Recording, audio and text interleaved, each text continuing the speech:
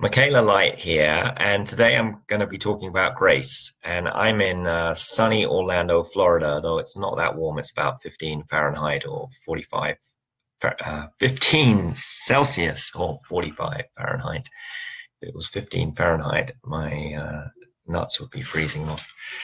So I want to talk about grace today. Um, I saw a friend of mine called Grace yesterday at the Orlando airport, and it was a reminder to me to live with grace and just not let life's stresses or distractions get in my way.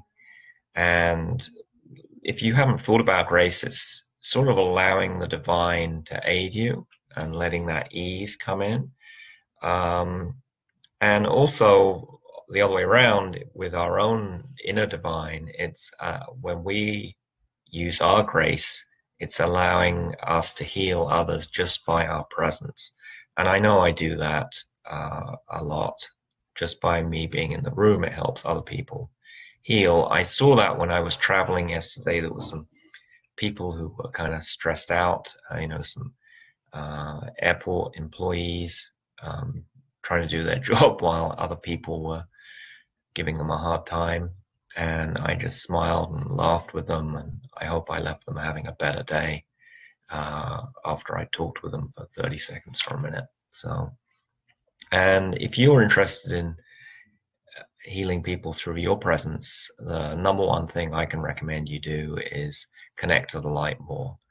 Um, I talk about that in my book, Intuitive Leadership Mastery and it's also on my website instructions how to do it. You basically connect uh, up to the light bring it down go down to the earth ground down from the earth down bring that light back up and expand your heart out as big as the universe.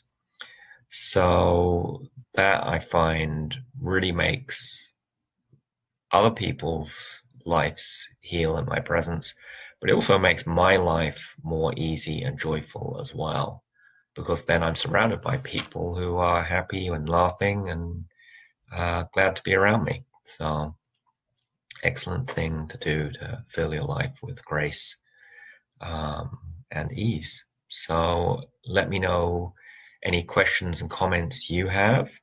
And I am going to a yoga retreat in a few days. I'm just spending uh, a couple of days in Orlando and then going down to Lake Wales. Um, and I'm crossing my fingers that my uh, video will work from or the bandwidth will work from there to be able to do video but I have a backup plan for my daily videos if not. So create a graceful day